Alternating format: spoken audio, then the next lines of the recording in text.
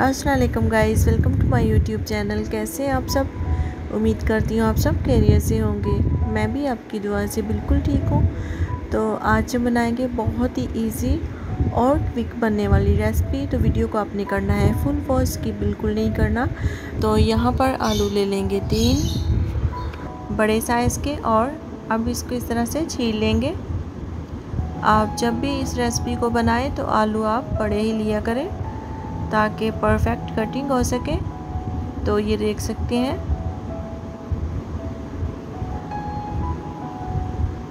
अब इसको इस तरह से काट लेंगे।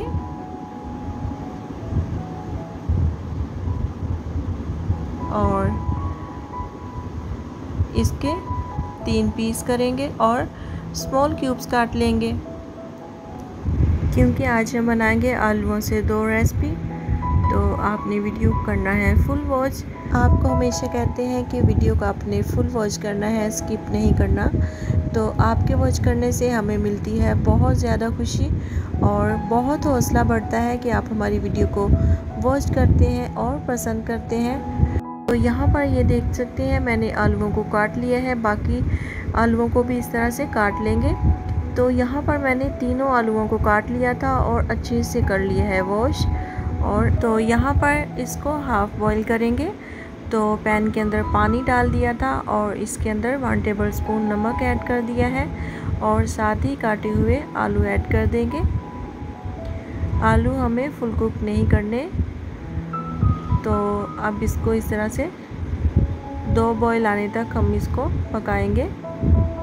ये देखें, अब इसको इस तरह से हिला लेते हैं ताकि जो है बराबर हमारे आलू हाफ़ टर्न हो जाए।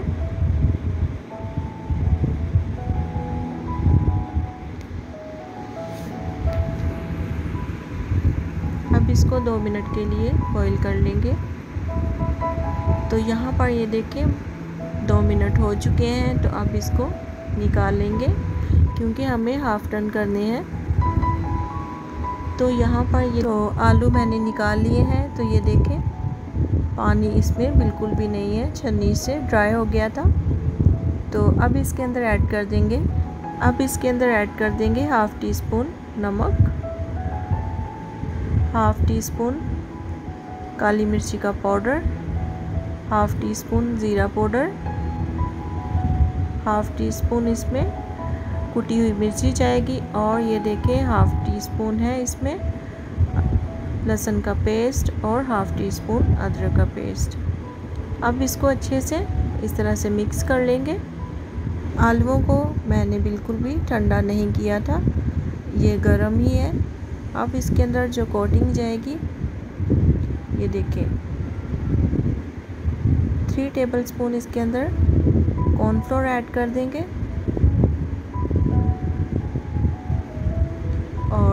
अब इसको अच्छे से मिक्स करेंगे। ये आलू गरम थे तो इसके ऊपर जो कोटिंग होगी बहुत ही अच्छे से होगी और ठंडे हो जाए तो फिर इसके ऊपर जो कोटिंग है वो अच्छे से नहीं होती। साथ ही मैंने ऊपर ऑयल को रख दिया था ऑयल हो गया है गरम। तो यहाँ मैं खफगीर की हेल्प से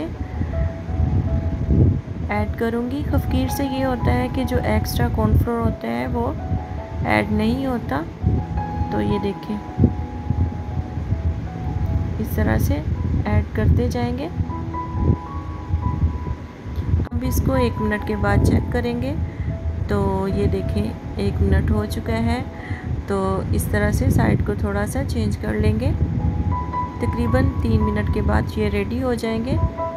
तो ये देखें, तीन से चार मिनट हो चुके हैं। तो ये देखिए, बहुत ही टेस्टी हमारे जो स्नैक्स हैं, वो रेडी हो गए हैं। और ये देखिए सौंठ कितना क्रिस्पी है। अब इस तरह से सारे निकाल लेंगे। तो ये स्नैक्स बहुत ही टेस्टी बनते हैं, बहुत ही फ्लेवर से भरपूर, क्योंकि इसके अंदर जो इंग्रेडिएंट्स ऐड किए हैं, वो बहुत ही टेस्टी होते हैं।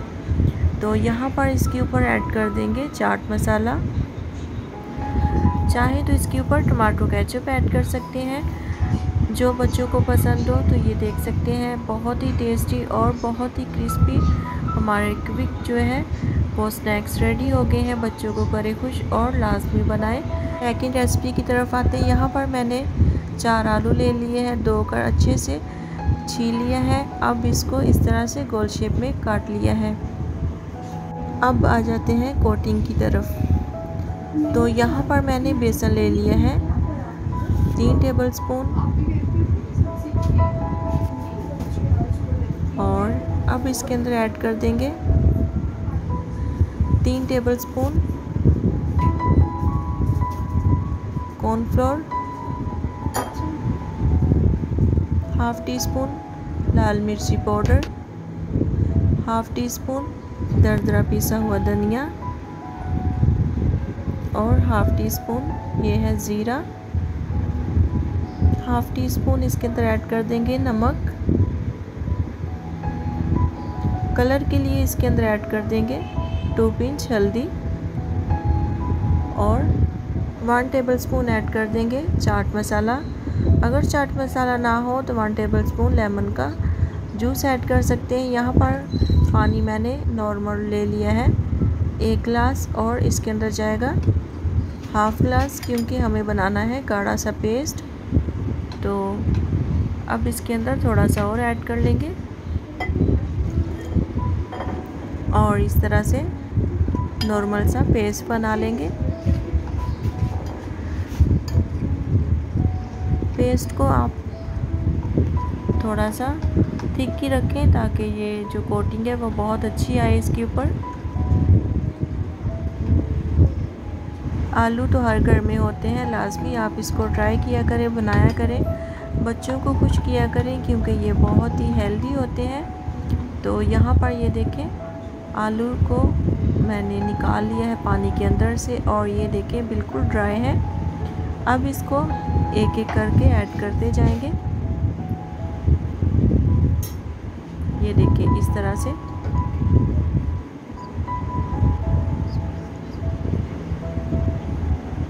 एक एक करके ऐड कर देंगे। बैटर के अंदर इस तरह से डिप करेंगे और इस तरह से ऐड करते जाएँगे। इसी तरह से सारे कर लेंगे। यहाँ पर मैंने सारी टिक्कियाँ ऐड कर दी हैं और अब इसकी साइड को एक मिनट के बाद इस तरह से चेंज करेंगे।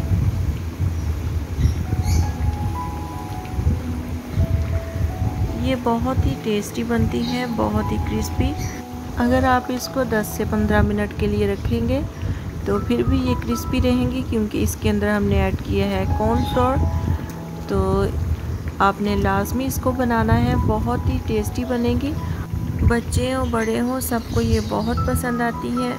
आलू की टेस्टी और क्रिस्पी टिक्कियाँ तकरीबन छः से सात मिनट हो चुके हैं तो ये देखें रेडी हो गई हैं। अब इसको प्लेट के अंदर निकाल लेते हैं।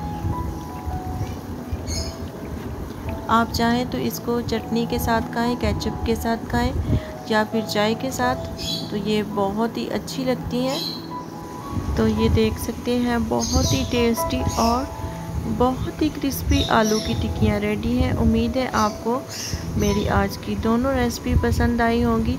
अगर आपको मेरी रेसिपी पसंद आती है या फिर आपको कुछ भी सीखने को मिलता है तो आपने वीडियो को करना है लाइक, शेयर और सब्सक्राइब।